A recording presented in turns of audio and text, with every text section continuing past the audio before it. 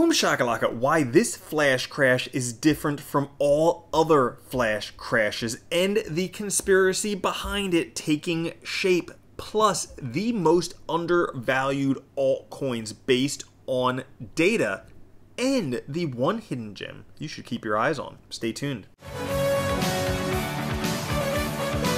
What's up everyone, Randall here from Crypto Love. Today's video, we're taking a look at why this flash crash was different from the others plus the most undervalued coins based on data, and one hidden gem that you should probably take a look at. Before we get into it, guys, make sure to like, subscribe, click the notification bell. Also, come join us over on Twitter at the Crypto Love, where every week we give away one of these sweet shirts that I'm wearing. I'm not even going to show it to you today.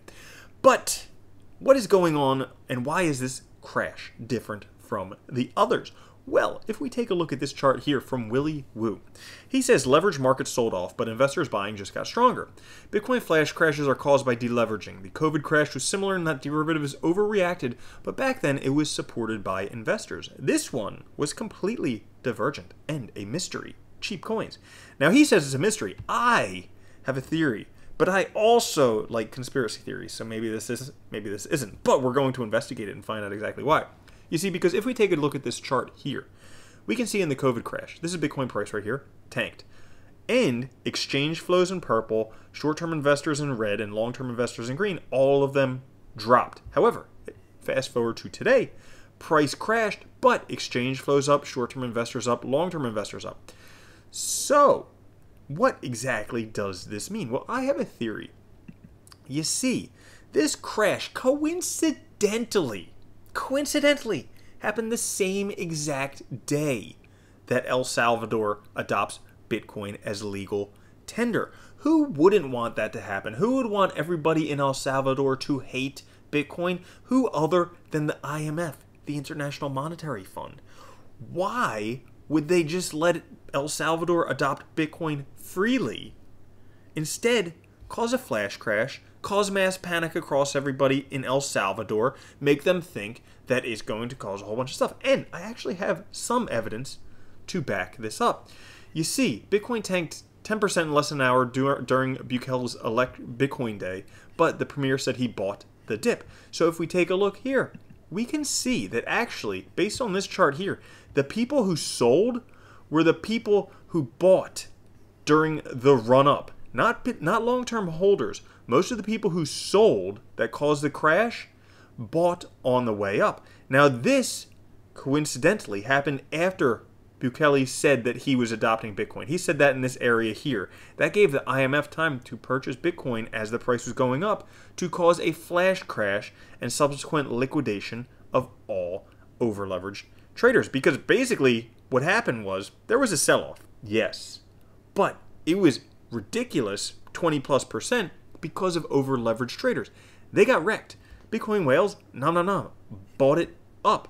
And you see, that's the difference. The reason why people like Pentoshi and myself are calm about these crashes is because they own their Bitcoin. We own our Bitcoin. We don't leverage trade. Leverage trade, dangerous.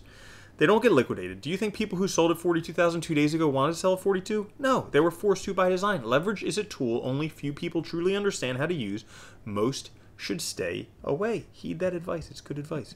Now, that being said, everything's looking good. Another another bullish impulse of Bitcoin moving to long-term investors and coins coming off exchanges. Ignore the noise. The noise is short-term, but long-term supply and demand. The supply is getting eaten up and demand is only increasing so price is likely to follow. It is highly unlikely we are anywhere near the peak. Right now, CBBI.info, confidence we're at the peak 58%. If we take a look here, right now we're at 58%. Last time we were at the same level, Bitcoin was at $27,000 on its ride up to 65.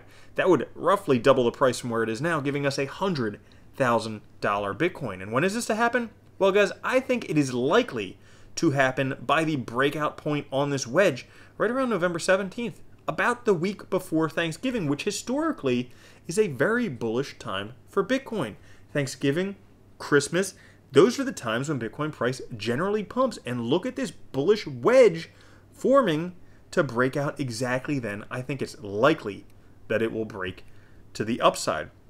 So, great news for Bitcoin, but also for all of you altcoin holders. I just found this today.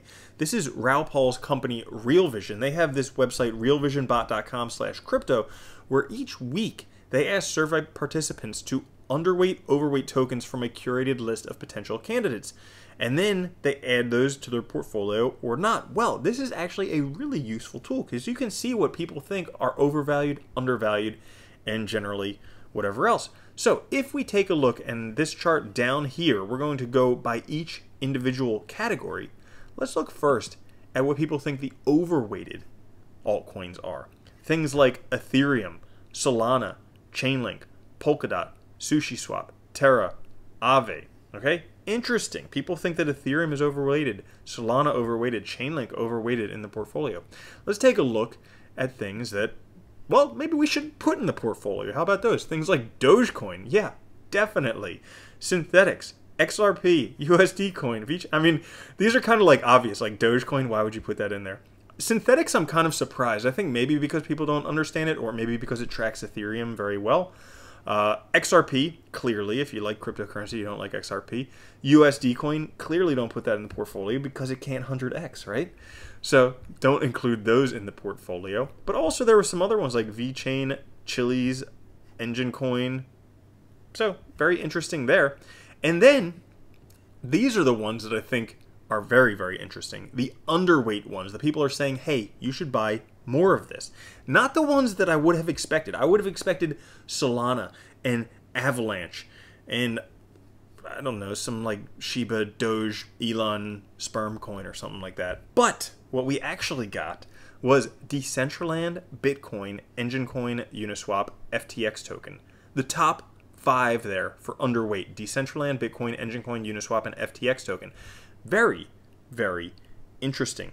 So that brings me to what I think could be a hidden gem. Now, this just kind of flagged in my consciousness. I wanted to bring it up to you guys. I haven't done all my research on this one, but since it's flagging on two very helpful indicators that I use, I thought I'd bring it up to you, let you take a look at it yourself.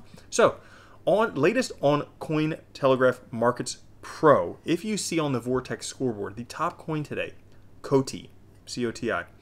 Now, if we go and take a look at token metrics, COTI also very high up. Now you're saying 63.9% TM grade, that's not very high, but this is how I generally find hidden gems because what I do is I go to data ratings investor yearly. Now, it should be noted that all of the top coins for the investor yearly are like stable coins. So based on machine learning and everything else there, they would say within a year it's likely that things are going to go down. So these would be the most stable. But once we start getting to things that are not stable coins, one of the top coins there is COTI. And I just found this, I haven't done all of my research on COTI, but I just found it interesting how it's one of the top coins there for the Investor Yearly, also the top coins on the Vortex scoreboard. Right now, I think it's uh, 200 some on 216th market cap. So it's definitely low down there.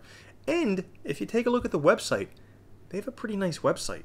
And that's, I mean, that's the first thing. If they don't have a good website, it's usually garbage, but they have a pretty nice website. Ultimate power grid of payments. So they're aiming to be a new payment system built with a decentralized acyclic graph like IOTA, and they have a pretty stacked team. You can see down here as well. Where is it? There we go. Pretty stacked team. This guy has 14 patents, former head of research for IBM, former HSBC internal auditor. So, a lot of interesting stuff worth checking out. Again, this isn't buy or don't buy. I just thought, thought it interesting that this came up on both of these. It's the weekend. Take some time, look at COTI, see if it's something that, you know, is interesting. So, guys, like I said today, we talked about why this crash is different from the other ones. Why potentially it was the IMF trying to dump Bitcoin, and why this is actually a really good thing because they could only affect the price by what, 20%? They can't destroy Bitcoin. Plus, also, we took a look at the most undervalued coins today Decentraland Bitcoin, Enjin Coin, Uniswap, FTX token, and a potential hidden gem. So, thank you for watching. Enjoy your weekend. I will catch you guys later. Have a good one. Peace.